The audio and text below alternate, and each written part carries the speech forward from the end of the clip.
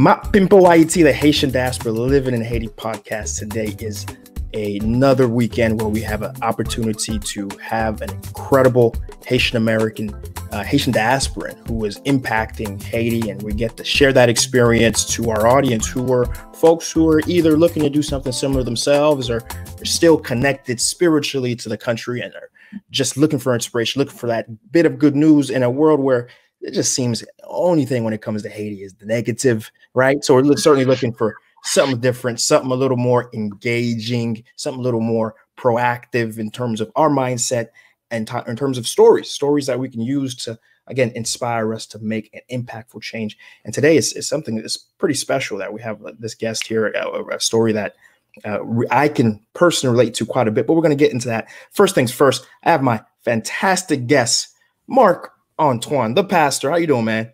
I'm doing well, really, really well. Had a great week, and um, glad to be back on the show with you.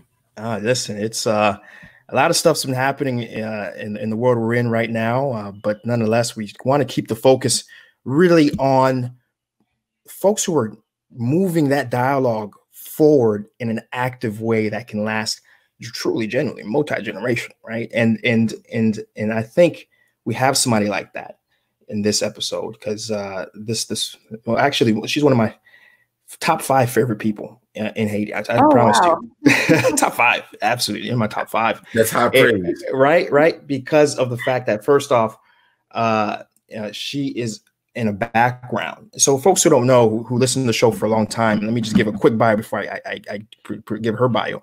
Is that you know, I one thing that allows me to do what I do in the country is that I am self sufficient because I consult uh, because my background is IT analytics, right? And so I do very high level analysis for for companies uh, to help them improve what they what they do, right? And and that's called data analytics, and to the point where it's getting to a point it's called data science now, right? And though when I first got to the, to Haiti, I was just I quit my job and I was just functioning as a as just you know focus on my business. But after so many so so long, I realized you know what I things have to change up because uh, I didn't want to necessarily be incentivized to do things that you know was more focused on a dollar rather than my morals, right?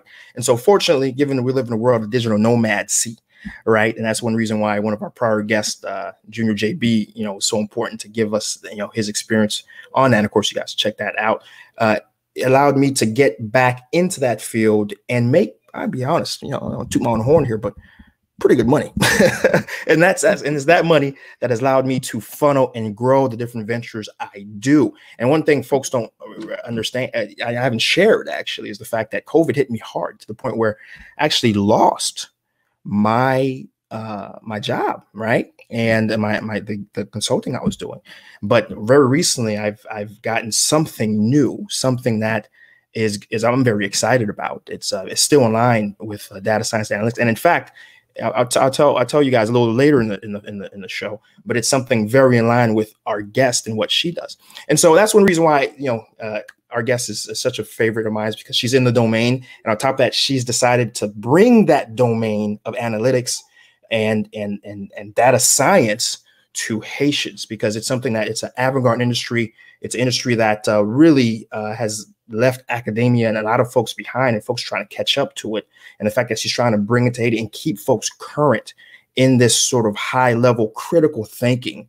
right? And she's doing a way where she's engaging uh, businesses in in, uh, in the country to not only get a lot of these uh, folks who are coming through this program that she's establishing and giving them jobs, right? Of course, you know, if you're on here and I'm, you're my, one of my favorite people, it's going to be that's going to be that connection, right? And so and so again, without I can't with I may spend the whole episode talking about her. So let me just bring her on the stage now. Castelline Tilus, how are you? Yes, I am well. And I want to say thank you for having me on. Um, this is truly, truly a pleasure for me to be on with you both. and um, welcome, welcome.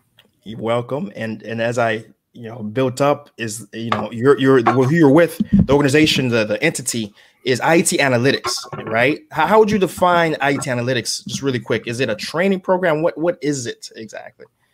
Yeah, that's a good question. Ayiti Analytics is Haiti's first data science lab, headquartered in the capital city of Port-au-Prince. Um, and we are an education platform. We're a consulting agency. Um, and we do public research. So we have those three pillars all within the domain of data science. And we're, we're bringing that to Haiti. Fantastic. Okay, a data science lab. Okay, all right. That's that's a very clear and more understandable way to, to understand it. And so we're going to get a lot deeper into it because I even even my my family when they try to uh, describe the the sort of domain that I, I am in for time anyhow uh, they I just tell them to tell people we're, we're do, we do IT just to keep it but we're going to really get into the science of it. But first and foremost I want folks to really get to know who Castelline is her background. So so run that from the beginning. Um, were you born in Haiti? Were you born in the states? Run that run that for us. Yeah um, I'll, I'll give you the the long version. so I was born in New York, but raised in Haiti. Um, so I spent the first seven years of life in Jean Rabel, Haiti, which is a small town in the Northwest Department. Um, I am from a family of plantain farmers. We actually are a few generation of farmers, uh, but my parents wanted better for their kids. They wanted better for me. So at the age of seven, they sent me to live with relatives in the States. Um, so I spent the end of my childhood and teenage years in Fort Lauderdale, Florida. Um, so I am a South Florida Haitian through and through. Um, and I, I, have very fond memories of growing up Haitian in South Florida. So um, I grew up going to the flea market on Saturdays, going to church on Sundays, and school on the weekdays. Um, some would say the three core pillars of um, l'école, la caille, l'église uh, were the centers of, of what it meant to be Haitian for me growing up. Um, I also have very fond memories of traveling back to Haiti. Um, so one thing I should mention is that my parents have lived in Haiti my entire life. They have never left Jean Rabel. Until wow. this day, that's where they live. Um, wow. So they would send for me every summer to visit. Um, every summer up until I graduated from high school, I would spend a few months with them in Jean Rabel. So I have fond memories of of traveling to Haiti, doing the long trip from Port-au-Prince to Jean Rabel, which takes about nine hours. Um, and in those nine hours, I got to see such a beautiful country. Um, so often you would hear the narrative that yes, Haiti is poor, yes, there is sort of inequity, um, but I, as a kid, got to see some of the beauty. We would drive along the ocean for hours, drive through mountains, drive through rice fields, salt mines, things that I didn't know that Haiti had. Um, I got to see firsthand as a kid on that trip uh, to Jean So um, again, summer spent in Haiti with my parents. Um, the rest of the year spent in South Florida, which is Haiti away from Haiti, it felt like. Um, so, culture identity wise, um, I say that I'm Haitian American, uh, but sometimes I feel more Haitian, more American, depending on the day, the mood, and where I am. Um, but having my parents sort of be in Haiti was one thing that kept me sort of connected or tethered to Haiti. I always felt that I would return because they were there. Um, and so for me, returning made sense because that's home. That's where parents are. That's where family has always been. Um, okay. So yeah, I think that's that's the, that's the early years. Interesting. Okay, and and so are your folks still in that area, or yeah? Or, so mm-hmm. to date, they're still in Jean Rabel, and we we keep close contacts via WhatsApp. Um, I get pictures all the time from my parents. Um, yeah, so they they've lived in Haiti so long that even now, as they they do have their residency, um, I don't know if they would want to acclimate to living in the in the U.S. So now let me make sure I understand this. So you were born in Haiti, but then but then you moved to New York. So how did that? How, did they? You grew up with an aunt, or how did how did that happen? If your parents were were uh, in, Haiti. in, Haiti. yeah. Yeah, it's fairly common um, to send your kid to live with relatives um, in the states. So I grew okay. up with an aunt and uncle in South okay. Florida. Okay, okay. Just um, making sure. I understood that because I didn't folks think you were like, oh, it's a Home Alone. Uh... no, no. okay, um, okay. Gotcha. Now, just just a note for, for, for those who are listening in and may not know the geography of Haiti, Jean Rabel is in the northwest department, northwest, and it's probably northwest is probably if one of the if not the hardest department to get to if you're driving. Yeah. It is a nightmare. And so um, kudos to you. Um, so Northwest being closer to Cap Haitien, or is it more Port Port-de-Paix? Yeah, Port-de-Paix is the closer to Port-de-Paix. Yeah, yeah, that, yeah, that, you know, that direction of Port-de-Paix. I, I understand is still pretty pretty rough road wise. Still one of the uh, in terms of the road network, still one of the most under, underdeveloped. Still, though, even though the, I think believe the the president, the vice president, currently is from there, and I heard there's some, a big push from her finally get some a little bit of development in that area. Interesting. So, so, yeah.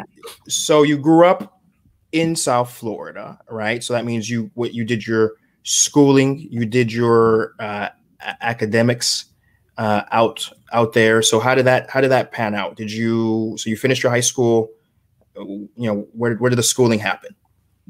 Yeah, um, I guess I'll complete the story. So I did my elementary, middle, and high school in South Florida, and I remember wanting to leave for college.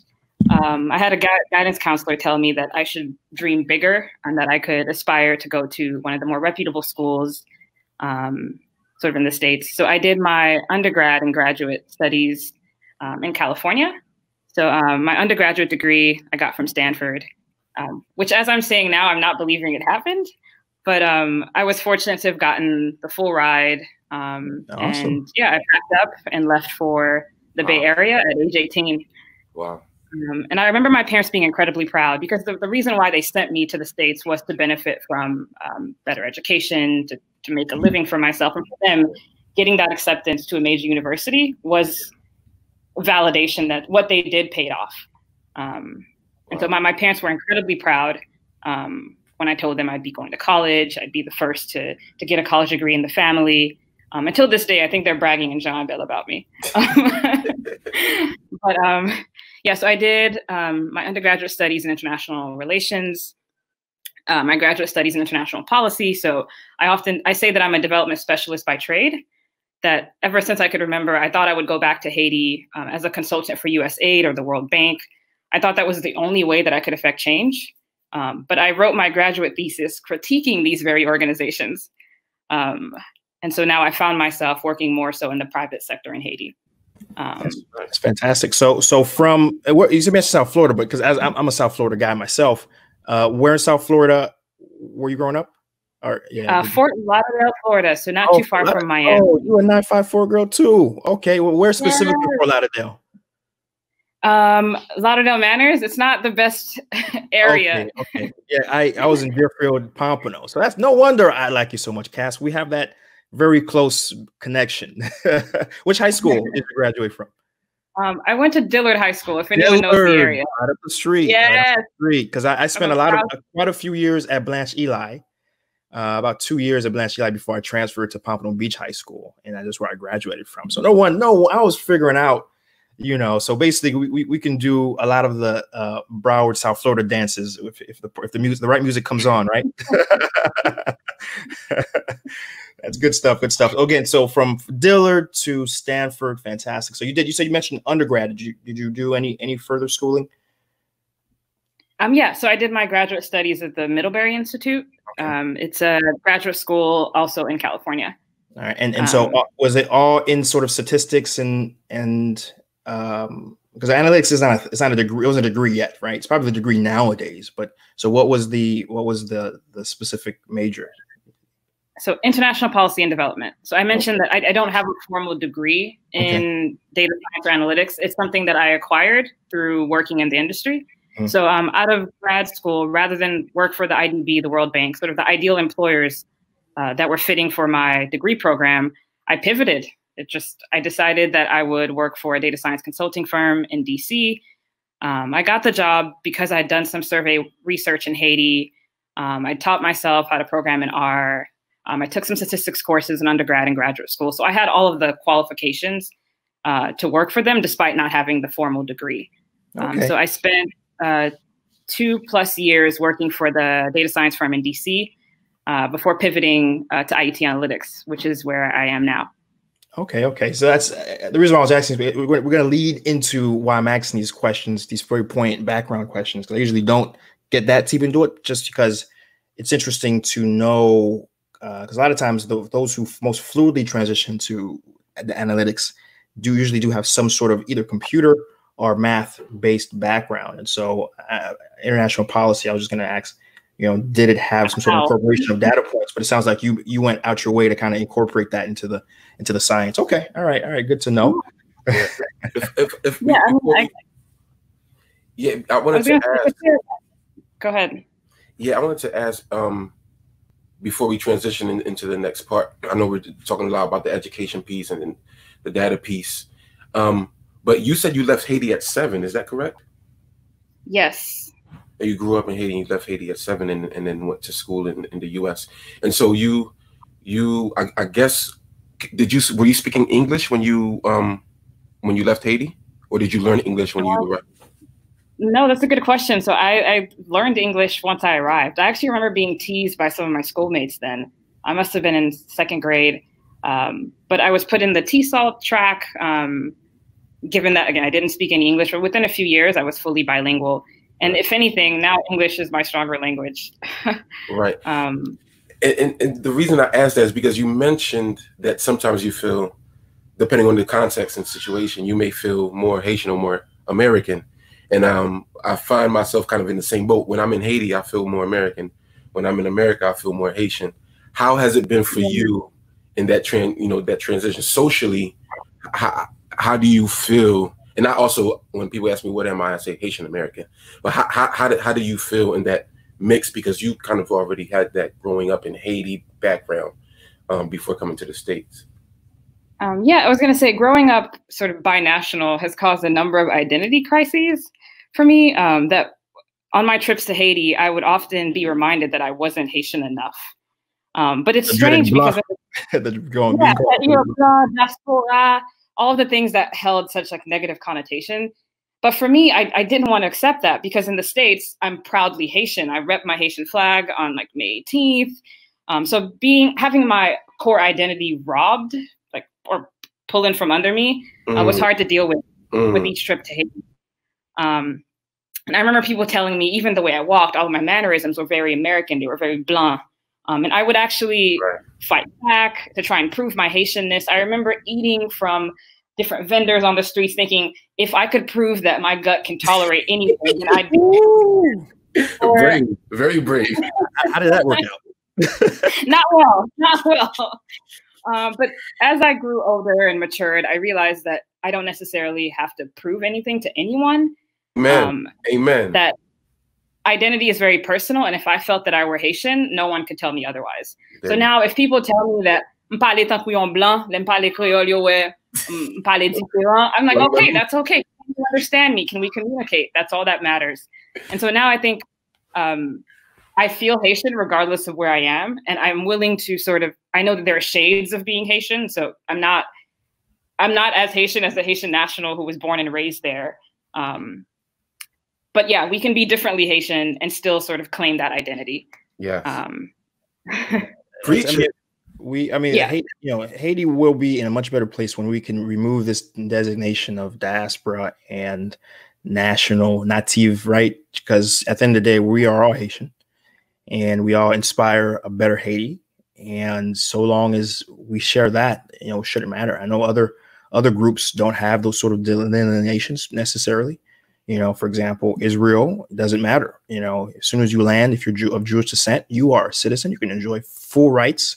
In fact, they'll go out their way, and and I don't know if this policy still exists, but for a long time, they would actually give you stipends to to to to live and stipends to um, to start businesses, right? If you as soon as you land, because they understand the importance of um, the skill sets you may have had abroad and the fact that you know the country at that time in development needed it. And so certainly the day haiti can take that sort of pathway uh, will be we will have a generally growing and improving society. So but but in any case until that happens we got to independ- independently and individually uh, uh, engage in the country. And that's why you know we're happy to have you again cass. And so you know you worked professionally for some from so it sounds like some boutique data analytics or data shops, right? So explain that process to us. Like how, what were like who, who were they working for, and, and and what were some of the different things you were doing, and for how many years did you do that? Um, yeah. So uh, before I talk about uh, where I was prior to Ayiti Analytics, I'll just give some context as to why data science at all. Um, so I in grad graduate school, I did my graduate work, my graduate thesis on people's perceptions of NGOs in Haiti. Um, it was a survey research done by an anthropologist um, who wanted to gauge people's sentiments. So what do people think about NGOs in Haiti? can we do a, a representative survey in the South? And so I was one of the researchers that they hired to do 800 surveys in the South Department of Haiti. And after doing uh, the summer of, of, research, I became fascinated with survey data um, to capture people's perceptions and sentiments. Um, I published my findings, um, presented at conferences, and that's what really gauged my interest in data. Um, it was human data, not necessarily digital data. Um, but through path, the path of doing survey work in Haiti, I began to explore what alternate options there might be. Um, and I discovered that there were firms in the US uh, doing survey work for political campaigns. And so um, out of graduate school, I applied to work for a political uh, data science firm called Blue Labs Analytics. And that's where I was for the past two years. Um, so they do sort of, they consult for major campaigns.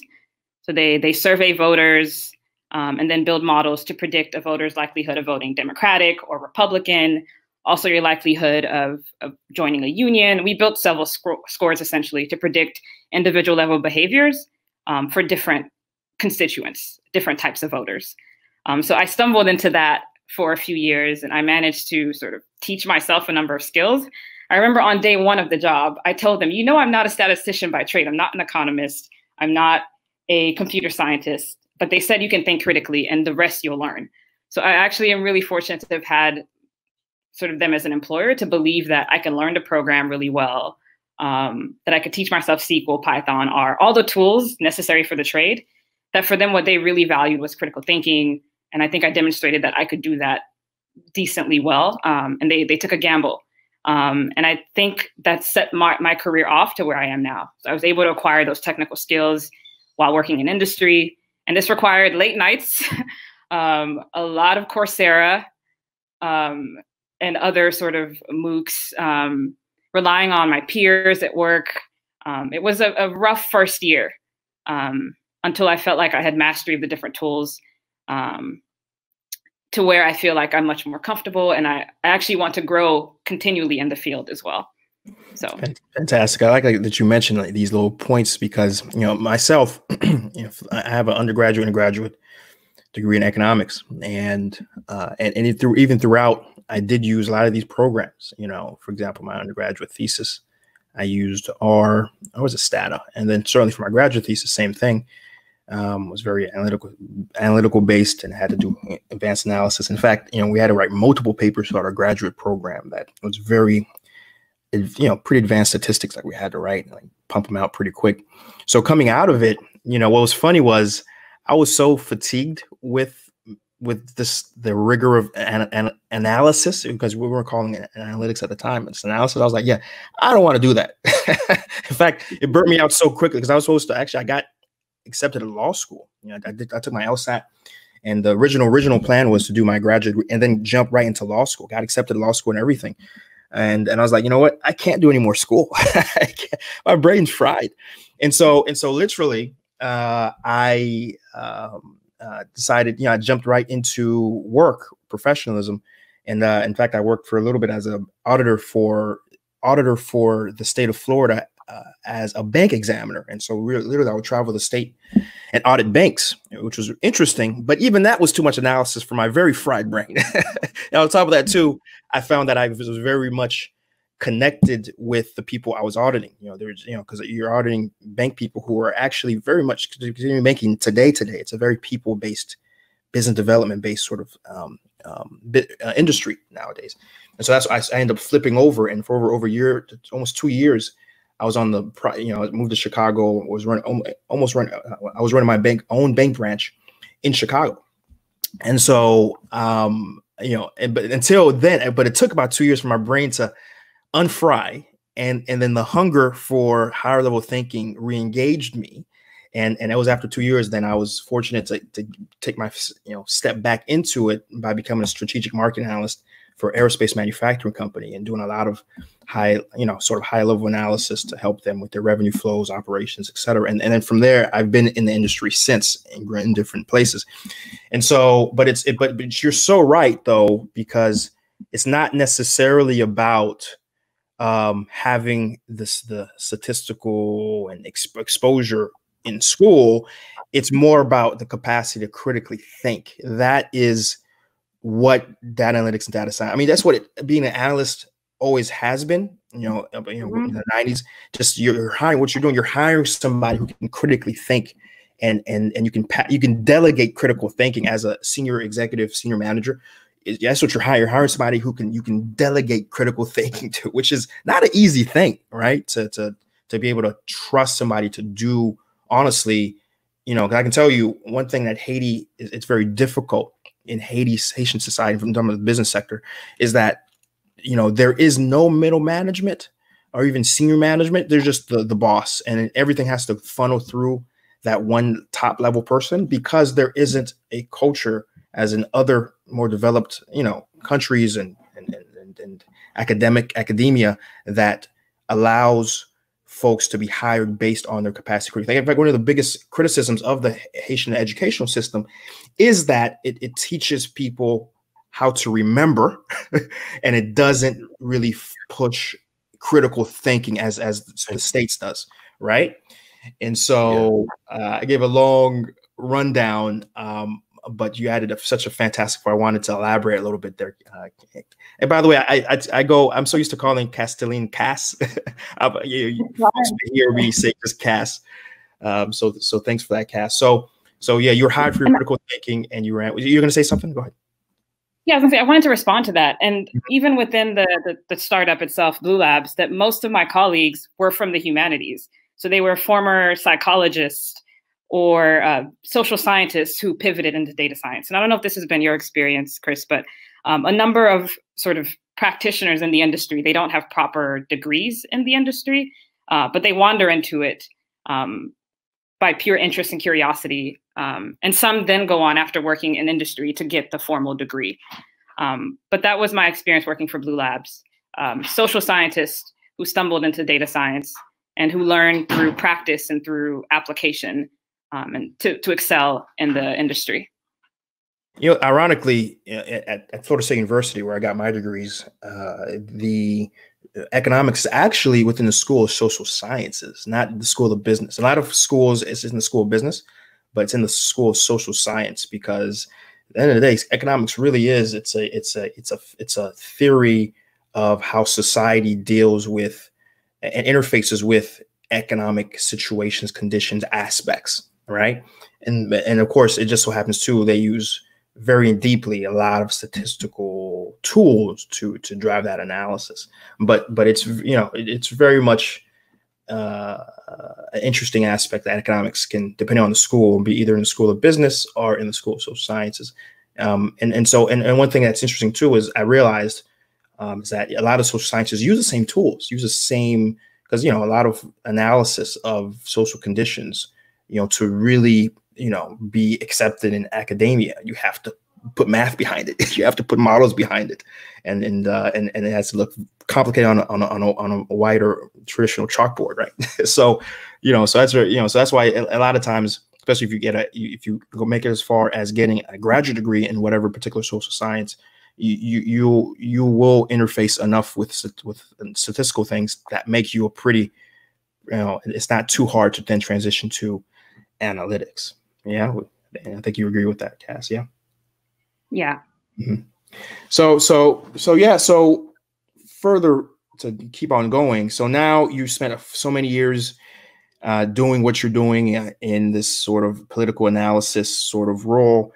And then what triggered it? What, you know, how recently did you decide to, you know, start Ayiti Analytics? And I don't know if you if you left the the did you quit? Like walk us through that, the birth of Ayiti Analytics. Yeah.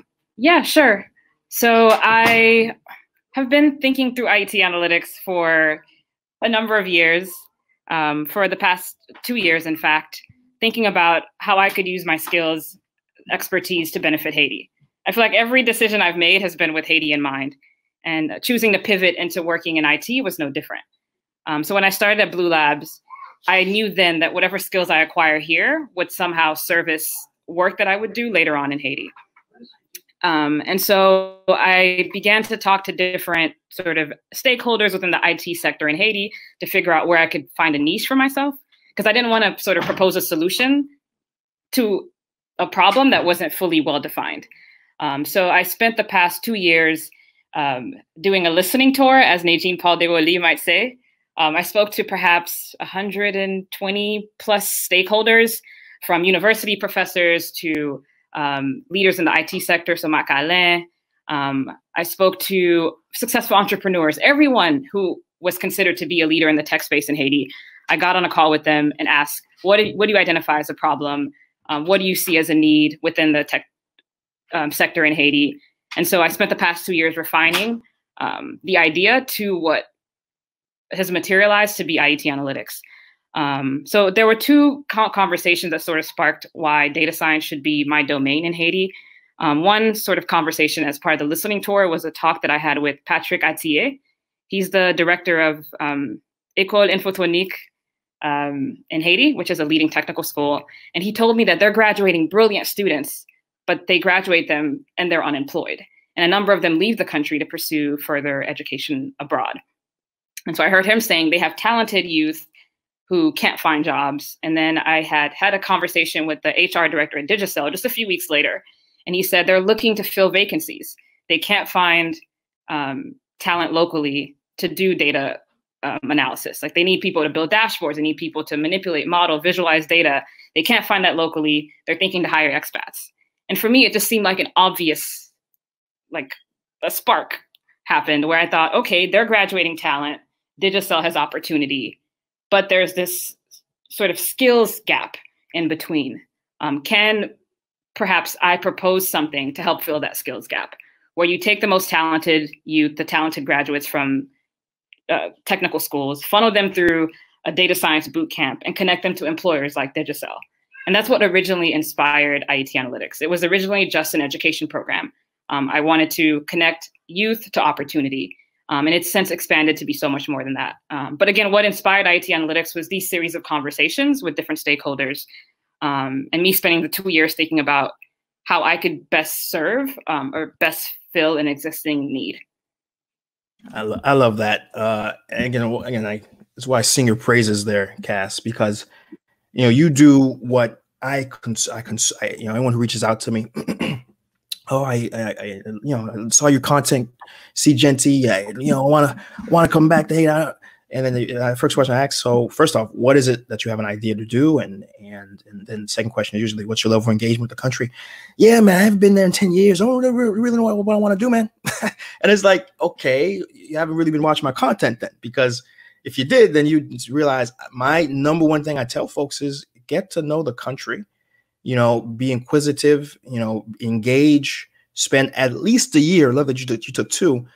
And, and then naturally the intersection between your experience background, the need of, of, of the market that may exist in the country, and the opportunity for, for money and the business model behind those three things will, will coalesce to, to an idea that you can then act on and then potentially pitch others to to engage and be a part of.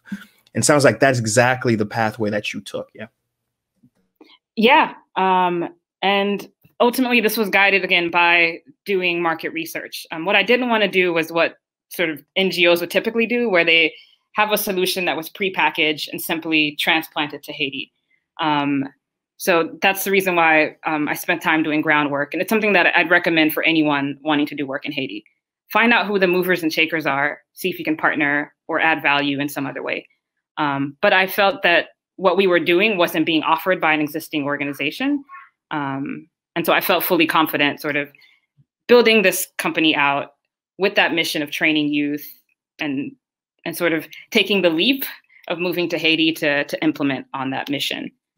I love it. I love it. And that's and that's truly one of the reasons why um, you know because I think it sounds like you know I want to ask this question. So the folks you're engaging, how did you approach them? Because a lot of times they, they get inundated with so many people trying to contact them, right? Particularly, you know, folks, someone like a Marc Alain who's very much in the social media, and I can speak to that myself. Like every other day, I'm getting someone reaching out to me. So, how did you engage them to get their attention? Because I'm sure a lot of people who may also want to, you know, inquiry with someone. What's the best way to approach someone who's um, in the public and or maybe you know I think maybe someone in the private might be a little easier, but I don't know what how did you go about engaging all these different parties? Was it in person? Was it just a random DM? How did how did, you, how did you go? that's a that's a really good question. I'm trying to remember now. Like, how did I get um, on a phone call with some of these really incredible people? Um, I was fortunate to have the international capital, so to speak, of having graduated from Stanford. I think that opened a lot of doors where people were more receptive to to me as an individual because I had that prestige. Wait, so did you just um, say, "Hey, I'm from Stanford"? Like as your first opening sentence, like steal. Sometimes, yes, and then people would open the door and let me in. But no, um, often it was being introduced by someone who they regarded highly. So, um, as I mentioned, Patrick Attié was an early sort of believer in Ayiti analytics. Um, he was one of the first stakeholders I spoke with and he introduced me to everyone else within his network. So I was really fortunate to mm, have okay. those And if you know sort of Patrick, he's a big shot um, within the tech industry. And so being introduced by him meant that I had something of value to say. Um, and so he did a number of introductions to, um, again, to Digicel, to Societe Bank, other employers in Haiti, and they they got on the call with me as a result. Um, Marc Alain was great from the beginning. Um, I actually think I may have just walked in, wandered into Banj, told them the business idea. He sat down and gave me advice, and we, he's been mentoring me since. So I think it's a combination of uh, the prestige of being foreign educated, being introduced by important stakeholders, so the, the aspect of who you know, and thirdly, just people in Haiti being open to partnering and to listening to different or innovative ideas. Um, and the combination of those three things has led to me expanding my network and um, really feeling like I'm in a place where I know people and I can add value to what existing uh, sort of innovations are out there. So, so using the network of your network, I love it. That's that's very interesting. Very and and, and yeah. Uh, but, mm-hmm. And I'm mm-hmm. willing to extend this network to others as well. So now I feel mm-hmm. like I, I, have to pay it forward. mm-hmm, for sure. And that's another thing too, though. You know, I can't stress enough as well to a lot of, especially when young folks reach out to me who are in college or just about to graduate, and I always tell them, "Great, cool. I love the passion you have for Haiti, but focus on being as big of a success as you can in America first. Right? Finish your schooling, get top marks."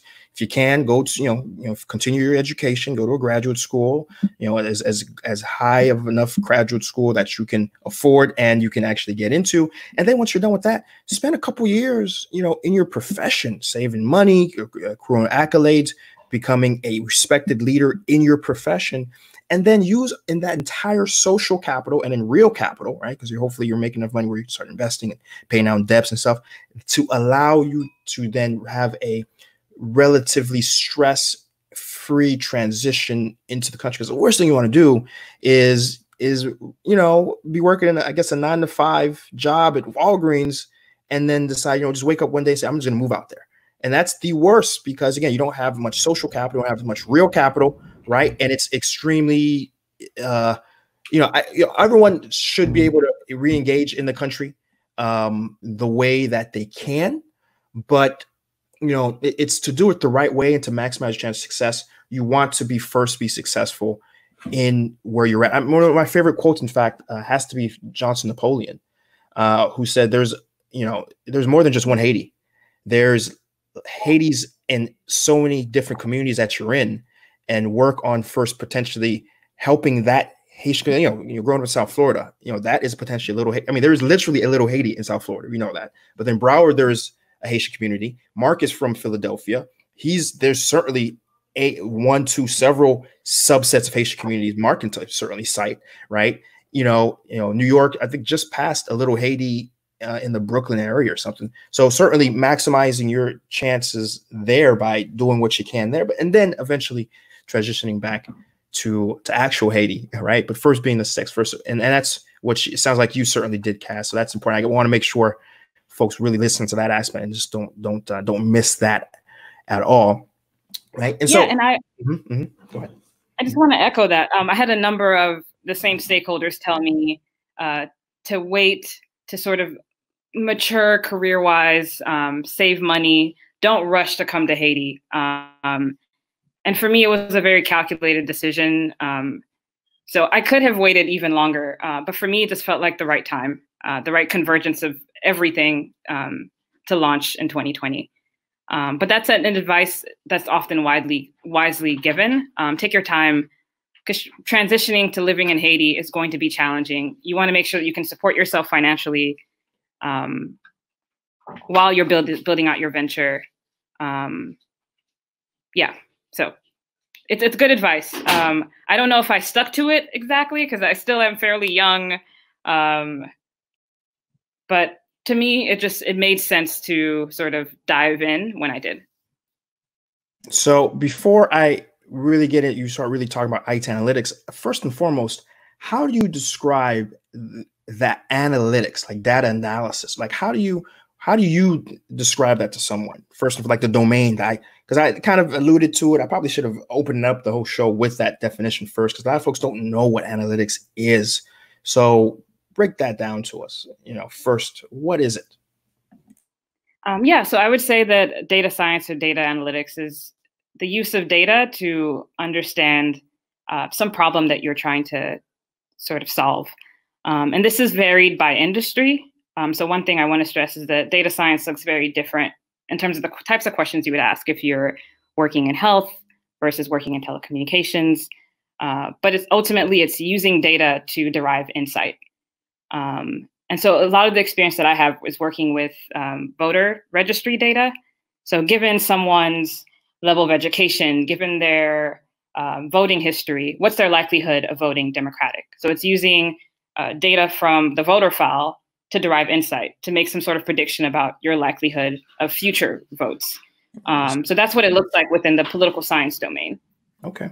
I, I when folks ask me that, and, if I if I see it's someone who can really appreciate it, that because usually I just again I just say, hey, I'm in IT, and folks get IT right, um, even though that's very much not very, you know, it's not at all really what I what, what I do, but but when I can really provide a full definition. Here's what I use. I say, hey, listen, it's a, it's a process. Data, you know, I do data and data analysis, and and to define data analysis is the process of inspecting, cleansing, transforming, modeling data with the goal of discovering useful information and informing conclusions and support decision making. That that is what I do.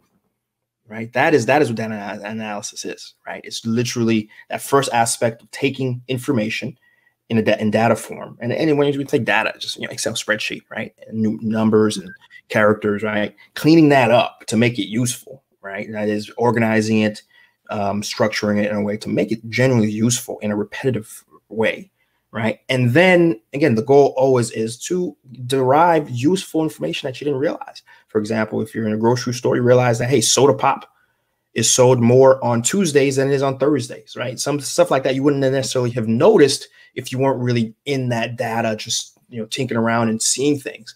And then and then once you have that conclusion, now okay, well, okay, soda pop's one on one day another. Now what can you do to take advantage of it? So so to sell more soda pop, maybe I need to put that soda pop up front to make it even more accessible, right?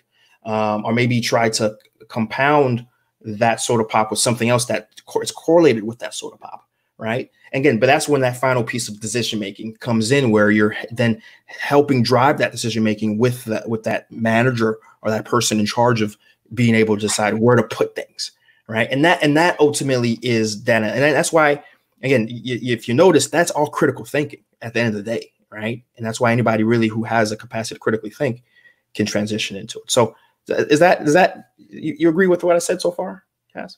Definitely, it's tra- taking information and transforming it to insight. I think at its core, um, awesome. and I like that you stress that data comes in so many different forms. Um, so often it's tabular, so an Excel sheet, but there's also photo data. Um, and if you're working in sort of biology, you have genetic data that you're working with. So again, by industry, the type of data that you're working with might be different, but the end goal is to get insight. How can you use this to uh, improve decision making or um, yeah what can you what story can you tell given the the data that's available the modeling that you've done um, and so forth? I love it. I love it. I thank love you guys. Thank you guys for sharing that definition for those who are like me and don't come from a, a data science analysis background very helpful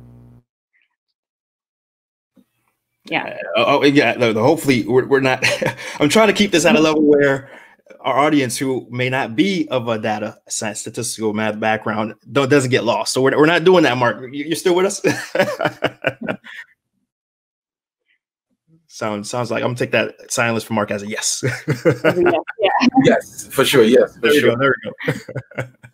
All right.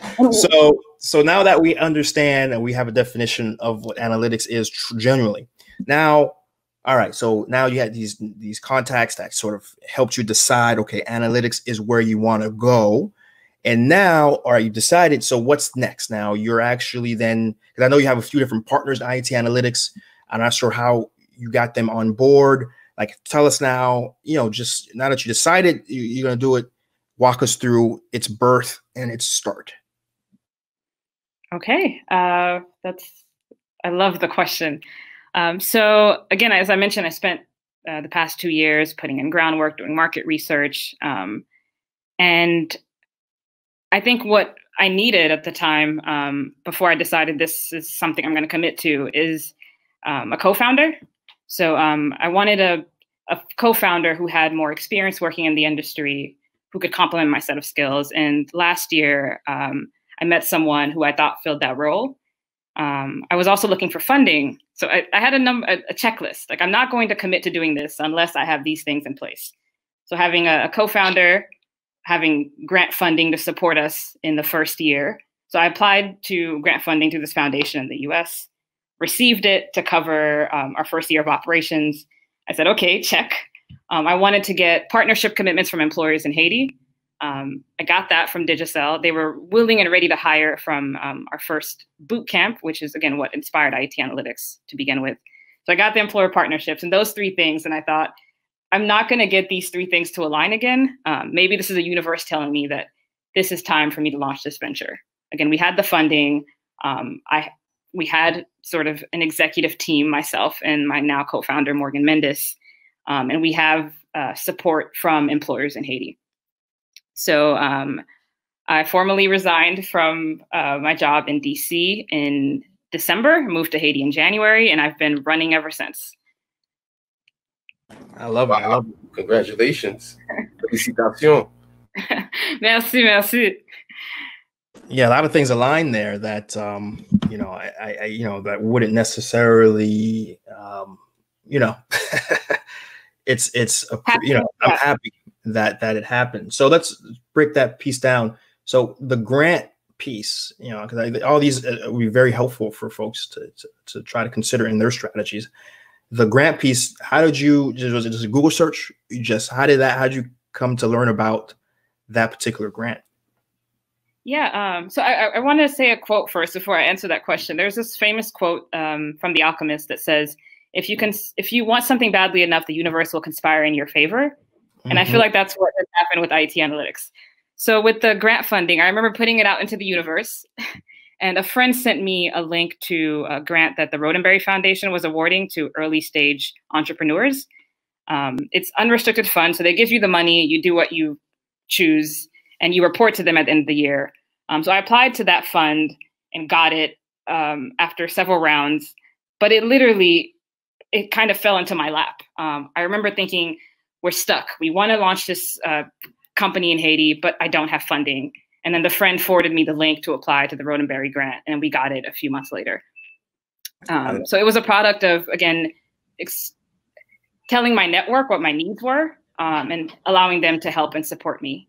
Awesome, awesome. Um, and, and that's one thing that I can appreciate about you, Cass, because I don't know you have an energy that really you know, old people really are drawn to you. I can say that, you know, versus me, I'll be, you know, folks, I am not, I'm actually pretty much introverted, you know, not that social actually in real life. so I have much more of a mindset of I'm gonna go in it alone. I'm gonna go, I'm just going to get started. And, and anyone who, who sees what I'm doing and wants to come in, cool. If they don't, don't. so certainly playing your personality is important. So it's important to know your who what your personality is and and energy you have. And I'm certainly of one. That's one reason why I had to sort of get my own funding funding you know uh, and it's, it's i don't know it's some some pluses and negatives for sure and and my which leads to my next question now as because you said you, you look for a co-founder right and and i know a lot of people you know, one of some of the most common things I hear when it comes to starting a business is sometimes they partner with the wrong co-founder or wrong wrong partner. And so, how did you find your current partner, and how, and how do you how did you know it was right? How did you? Because so far, I, have seen your interactions with with you, you, can say his name if you want to. Um, it seems you guys really do have that simpatico. Um, but so, how did you find uh, and know this was the person who you know is going to be able to help get you that next level? Yeah, again, this is going back to the universe just conspiring. Um, so I'm just really grateful for uh, my network. So I had a, a, friend at the time who was working for a nonprofit in Haiti, um, and she forwarded me someone's uh, LinkedIn profile. And she said, You know, I remember you telling me about the data science uh, firm idea in Haiti. This guy's brilliant. He's a former VP of data science in the US. He's Haitian. He wants to move back to Haiti. Maybe you both should talk. Um, and so she introduced us. I reached out to him. At the time, I was living in DC. Um, he was also in DC. So all of these things are, are, aligning. We met up for coffee the day after we were introduced and hit it off immediately. So I think it's a matter of, of having an aligned vision, and we did immediately. So we sat down for coffee. I told him about the vision of Ayiti analytics. Um, I had this idea to train a new generation of, of technologists in Haiti. I want to train, connect them to opportunity. And then he added to that and said, yeah, what if we could also do consulting? And so immediately in, in Morgan, I found a, a thought partner um, in that he took the idea, helped me mold it into um, what it is now. So we're not only doing education, but we're doing consulting and public research in the domain, in the field of data science. So it was having that immediate connection, having that immediate alignment in our vision and mission for what we're building. Um, and that all happened over coffee. So, um, and we would spend the next uh, five months, sort of refining and building out the business model. And we both moved to Haiti um, early this year. So um, yeah, so it's it was the perfect combination of things. Was was um, was, was Morgan also um, of Haitian descent? Uh, was was he at all inter you know had some history with Haiti, or was he brand new to to the country? Yeah, he is Haitian diaspora as well. Um, the story is different from mine, um, but um, this was also a return for him in, in some ways. Awesome. So two two Haitian. I got to put Morgan on the list to eventually get Morgan on the program as well. Any, any opportunity I can just talk data and incorporate with with uh, with with uh, you know C and the Haitian diaspora and return the conversation we like to have here, the better, right? yeah. So that's great. So so I okay cool. So yeah so I see now it's set up. You have the right partners. Everything has come together. Now it exists. Ayiti analytics exists. So now that first year um, sounds because I know recently you guys did a training program with so many students, and and I'm, not sure if you've gotten already some contracts with consulting yet. So walk us through this first year. How has it been? What what what's what's what has the successes been? What have you wrote out? You know, talk to us about that. Yeah. Um, so I'll just do sort of a broad overview in terms of the types of programs that we offer. As I mentioned, we have three pillars. We have education, consulting, and research. And for this, the first and second quarter, we wanted to focus a lot on education. We want to train a foundation of, of data scientists and data analysts before we can do the really interesting work of applied analytics. So in um, March, we launched our data science bootcamp, uh, which is the first of its kind in Haiti. Um, and the goal was to train a cohort of data analysts, connect them to employers in the country. Um, so my team and I were a team of six. We spent all of January and February prepping for the boot camp. So building out the curriculum, doing outreach. We had a three-stage uh, application cycle. Um, so we selected the top 15 candidates. We were ready to launch. Um, and one of the greatest challenges we've had to deal with uh, these past few months, as you can imagine, is COVID-19. Um, after spending months prepping for the boot camp, getting the employer partners to sign contracts, recruiting students, you have a global pandemic. Um, so we've we've managed to sort of migrate the boot camp entirely online. Um, the intention was to have it be classroom instruction, but circumstances didn't allow.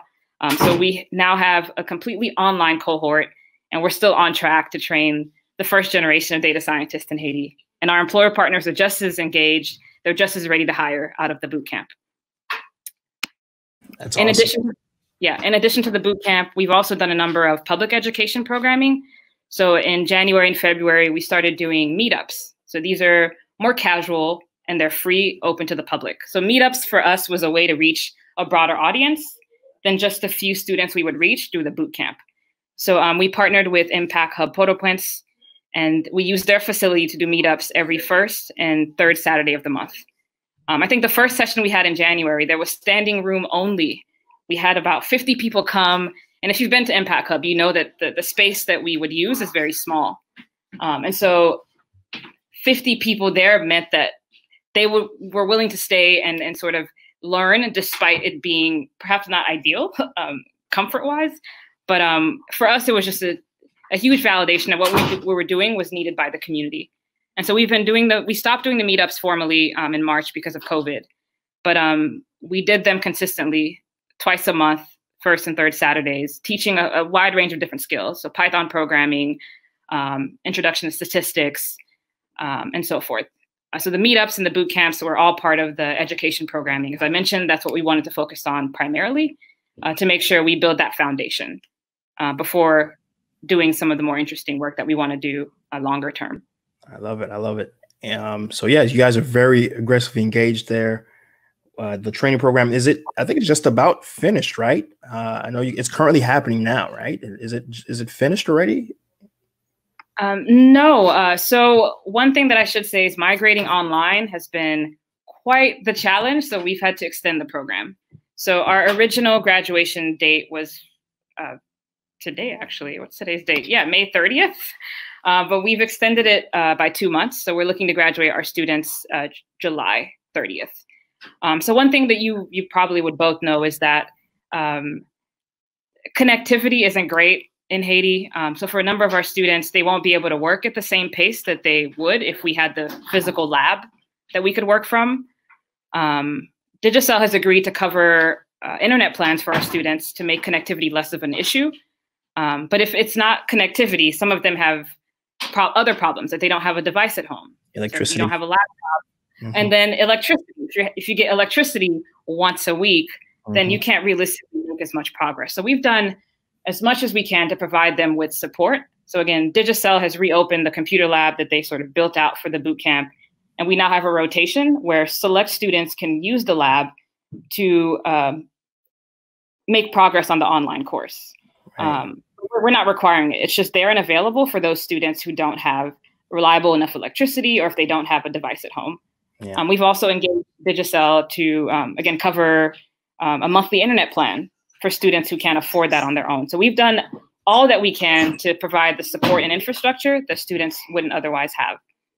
But this means that we can't go at the pace that we intended. So rather than graduating them in three months, we're looking to graduate them in five months.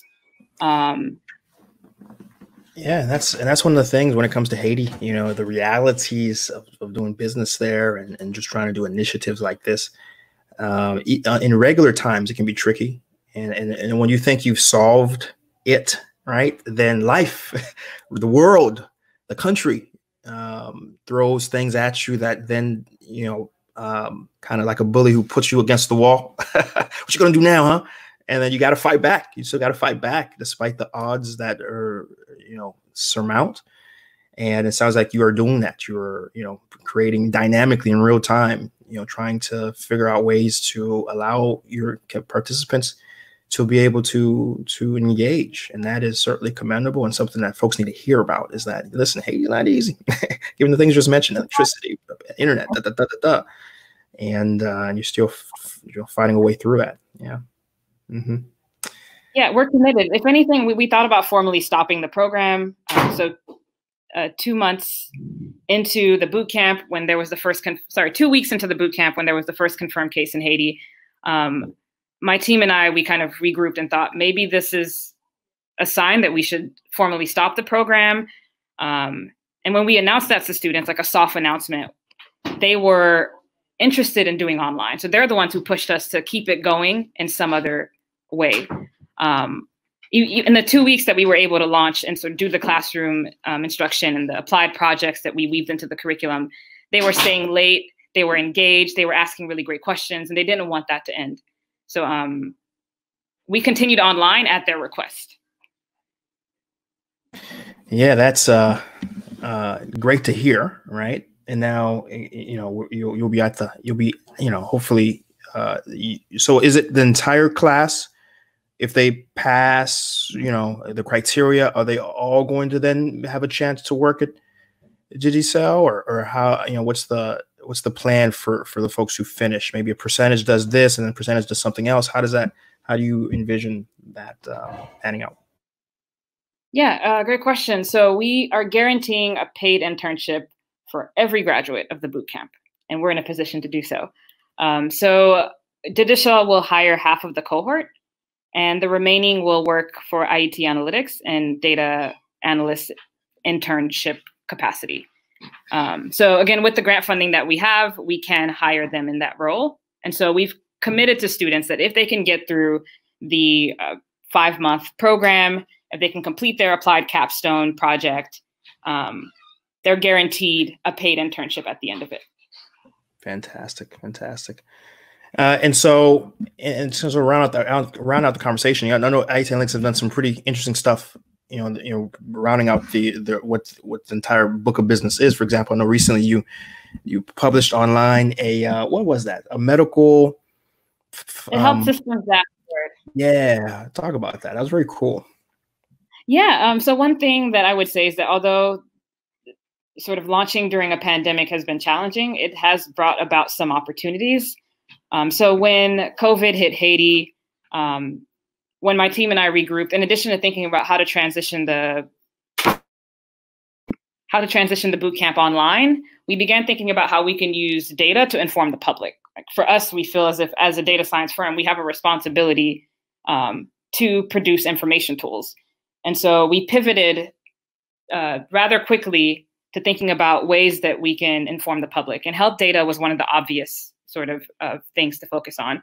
Um, so we managed to procure data from uh, a health survey that's done every few years, administered by USAID and the Haitian Ministry of Health. And we built a dashboard that shows distribution of health facilities by department and by commune and um, although it's still under development, we'll also be releasing data on health personnel, um, hospital beds, uh, which facilities have gowns or another personal protective material, which facility has running water, soap. We have a lot of health and population data that we want to visualize and put on our dashboard to inform the public. Um, and this, we hope, will help guide the conversation about how prepared Haiti is to respond to, um, you know, pandemics like COVID-19. Um, but it's also a useful tool to know what the existing health capacity is. And so even um, we've gotten sort of really positive feedback. A lot of people didn't know that the West Department had, of course, the lion's share of health facilities, but also the lion's share of hospitals. Um, and so it's a really great tool that can help guide conversations about uh, resource allocation um, and health advocacy um, in Haiti. Um, and so we're really proud of it as our first data product. I love it. I love it. And and, it's, and what's so important is the fact that you know there needs to be an attack on both sides, right? An attack on both sides, meaning there there there is a necessity for some rudimentary businesses, the business development in the country, for example, agriculture and manufacturing, these sort of repetitive things. But then there's also this massive need for the other side, which is bringing in sort of that critical thinking, higher, you know, the the the IT, the data, the apps the um, analysis, the research. I mean, you know, the creation of patents, you know, that can drive, uh, you know, the, the ability to, to have our academics and our universities create research that them itself is citable, right? And so there's sort of higher level analysis needed. And then and eventually they're going to meet at the center. And the center is a, a growing, um, diverse economy that can, can really help improve the entire ship um, of the Haitian people. and so that's why, you know, I, I, enjoy very much, you know, hearing about what Ayiti Analytics is doing. I always keep very close tabs on the different things you guys announce. And, and, I, and I know, again, this COVID has been just a pain, you know, and, and to have, for it to happen during your first class is, uh, I'm sure you're not happy about, but I can tell you, you have a great story. And certainly, um, uh, I think it will add incredible, incredible credibility to um, you know your future because especially as you get folks out and completed you know adds certainly a degree of credibility is the word to your reputation that this that no matter what happens you can still overcome it and and produce uh, stellar candidates who are then going to hopefully stay with Digicel for a long time and help drive profitability and operational efficiency and, and et cetera. Yeah. Yeah, and we're, we're just scratching the surface. Um, so I think what I'm particularly, I would hope Morgan is particularly excited about, is what our graduates will go on to do beyond the boot camp. Um, so what they'll go on to do in their roles at Digicel, but also what they'll do while directly employed at Ayiti Analytics. We have a number of interesting projects that we're excited to have them work on in their internship. Um, I, I, won't say them all now, but we, are being very ambitious in terms of uh, building out a language model for Haitian Creole, doing a public facilities inventory, um, building a data inventory so that if you want data on health or on education, you have a repository that you can go to um, for that. So we have ideas that are just through the roof. We're thinking as ambitiously as possible. Um, all we need to do is to train the talent to really help execute on these different um, projects. So I'm really excited about where we'll go beyond the boot camp. Yeah, yeah. I, I certainly hope at some point, um, you know, not only we get more engagement from the business community there, right, and but then also the government can use a lot of this analysis, Haitian government, right, and so maybe get some opportunities to help them with uh, a lot of gestion uh, uh, that they are trying to are having to do. Right. Um, if I just, just mm-hmm. want to, I just want to say um, thank you because I mean I've just been listening in. I, I'm I'm definitely I don't come back I don't come from that background of data science and data analysis, and so it's really interesting to listen and to see how it's being um, outworked in Haiti. So thank you for that. Um, what can what can people who don't come from that background how can they support? Um, what can the diaspora do to further the work um, that you're that you and Ayiti Analytics are doing? Um, yeah, so I think a lot of what we could use um, now at this stage is uh, partnerships. So a lot of the projects that we want to do, we want to implement um, with partners. So if anyone within the diaspora, whether you're a technologist or a data scientist or otherwise, have an interest in working with Ayiti Analytics, please reach out. Um, I think working collaboratively is one of our core values. Um, and so for every project we do, whether it's building out the language model or doing the public facilities inventory, we would like to do it with a domain partner. Um, so if anyone has listened to this and, and sort of thinks our mission resonates, uh, please reach out. Um, we could brainstorm how we might collaborate in the future. Um, yeah, that's probably the the most obvious uh, way to to engage with us as as members of the diaspora meaning it sounds like if, if someone has a you know in a position of leadership in their company and and they're looking to you know get you know very efficient critical thinkers who can do a lot of the things that uh, you know report creation and um, statistical analysis everything but then do it at a at a price point that is much less than a typical american but still very very comfortable for a haitian. It sounds like that's probably your ideal relationship maybe yeah, it could be doing a joint project or it could be in a consulting capacity. So mm-hmm. um, if they're looking to hire analysts from Haiti at a fraction of the cost, um, we're also open to that as well. So okay. collaborative projects, consultations, if anyone is interested in exploring those, um, I can share some of like our, our contact information to follow up. We will. We will. We'll put all that in the in the description below for sure. Ways to get in contact with Ayiti Analytics and Cosino and, and all the different uh, points of potential um, work that can. I mean, imagine it, for example, if you're working on your thesis and you need someone to help with analysis, and that's something I'm sure analytics can help out with. The list goes on and on, right? Because again, they're they're building critical thinkers. And one thing that um, you know I, I, didn't share was that again, given that I'm I'm in this domain now, particularly in curriculum engineering uh, for this uh, Israeli online university uh, in data science and data analytics. I'm sure Cass and I will be working somehow together, you know, in the near future to help uh, round out some things as well. Just you know, it makes too much sense not to, right? So yeah. So, maybe we'll have you help build out our curriculum for future cohorts. Hey, something that we that, that could be a potential partnership. you know, look out for that. If you guys want to um, inter- intersect with SeeJeanty somehow. You know, do it through do it through Ayiti Analytics, guys. Those who are listening. Yeah. And so, so yeah, I think that's uh, you know, we, we went a little over, but I, I'm surprised. I thought honestly we went, we went two hours, knowing how much I like talking about the subject. So I'm I'm giving myself a pat in the back for kind of keeping. And Mark too, thanks Mark for keeping the conversation on track and on point there. I can tell you this conversation has been very fantastic in the sense that we talked about uh, not just this very niche sort of uh, profession, which is analytics, uh, though it has more and more general importance and appeal in the in the in the business world that we're in.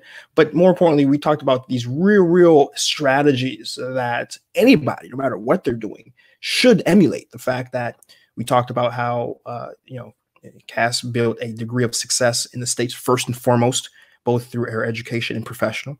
We talked about how when she decided to engage in the country, she took a very slow, methodical approach where she visited the country, where she networked with people.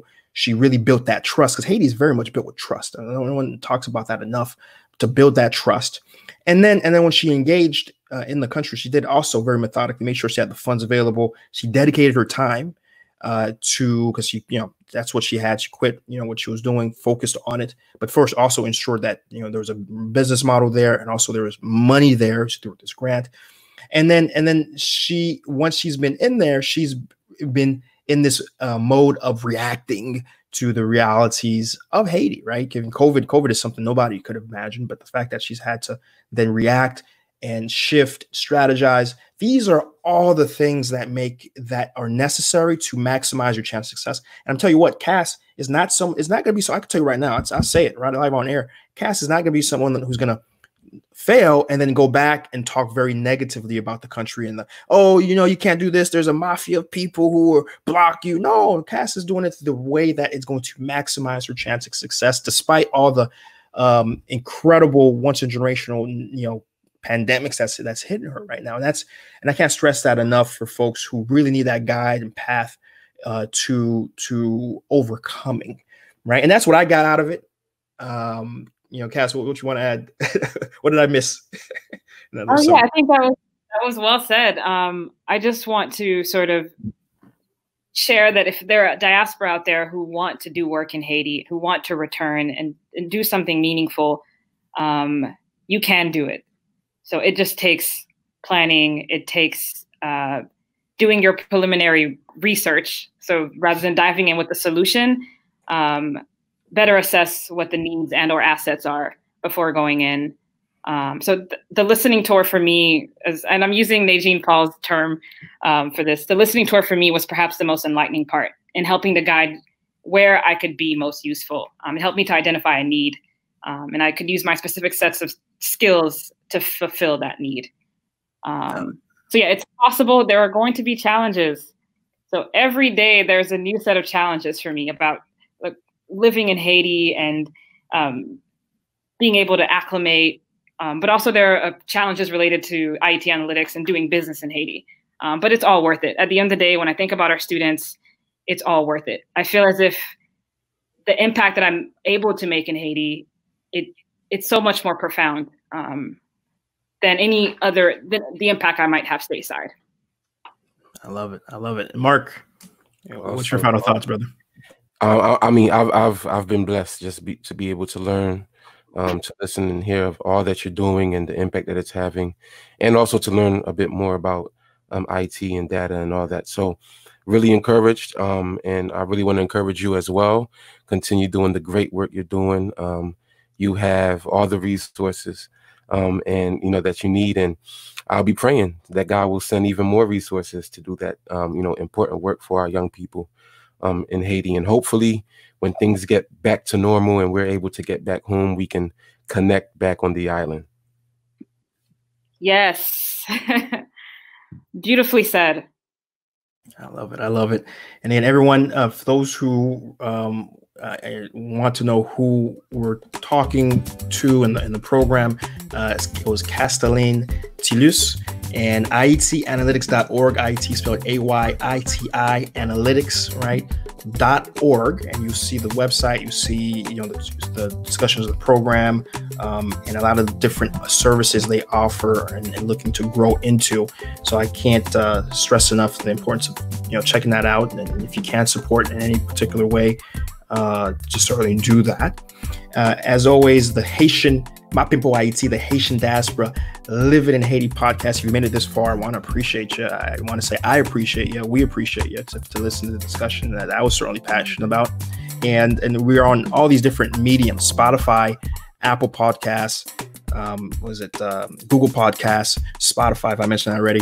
We're also on your YouTube and Facebook. We're on all these different mediums. So, however you're listening to it, hit that like, hit that thumbs up, share this conversation. You know, you're not to find this discussion of analytics in Haiti anywhere else on the entire interwebs. So, so this is the sort of you know fun and uniqueness that we're able to bring to the discussion of advancement of the country. And of course, we're going to be here for quite some time as COVID continues to ravage the world as a whole and prevent other certain content to, to be produced. We're going to still be at it. And even afterwards, we're still going to always be bringing these just awesome guests to, to come and share their conversations.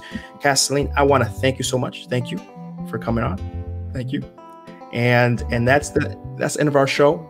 Until we're back at it again, guys, we'll be back at it again.